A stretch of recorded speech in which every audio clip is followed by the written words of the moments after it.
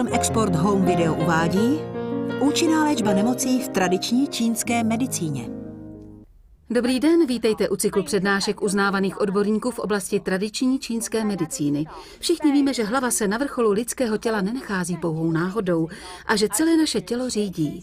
Často slýcháme přirovnání, jako má obchodnický mozek, má hlavu na finance nebo je hlavou skupiny. Tato slova svědčí o tom, nakolik je samotná hlava i její umístění na lidském těle důležité. Tématem dnešní přednášky jsou masáže užívané při léčbě bolestí hlavy. Je nám velkým potěšením, že můžeme přivítat doktora Lu, známého odborníka v oblasti tradiční čínské medicíny. Jehož specializací je ortopedie a jenž přišel, aby s námi na toto téma pohovořil. Vítám vás, doktora Lu. Dobrý den všem. Doktor Lucien působil jako všeobecný lékař na klinice tradiční čínské medicíny v Londýně a stál u zrodu řady odborných publikací. Pokud jde o bolesti hlavy, můžeme se setkat s různými méně či více závažnými obtížemi. Lidé, kteří pracují v kanceláři u počítače, jsou na bolesti hlavy více náchylní. Ženy mohou navíc trápit sezónní bolesti hlavy. Ale co je vlastně jejich příčinou?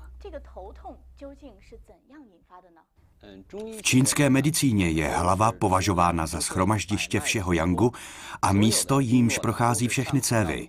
Všechny dráhy čchy v těle vedou nahoru do hlavy. Proto mohou být bolesti hlavy způsobeny celou řadou onemocnění. Běžná bolest hlavy může mít psychologické příčiny.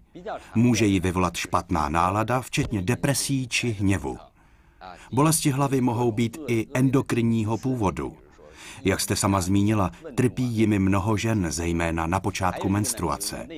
Existují i bolesti hlavy, jejichž příčiny lze hledat v životním stylu a zaměstnání.